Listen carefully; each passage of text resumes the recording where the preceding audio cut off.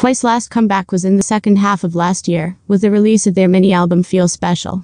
And this year the nine-member girl group is ready to greet fans with new work.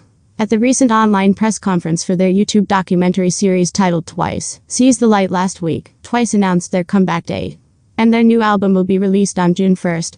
Recently, Twice released the first logo for their new album entitled More and More. The logo is in the form of a TW letter like the Twice logo in general, but with a golden font color and white background. Twice's new logo for the mini album More and More has caught the attention of netizens on theqoo's online community site.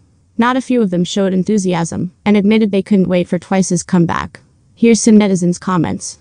I'm curious about their new song this time.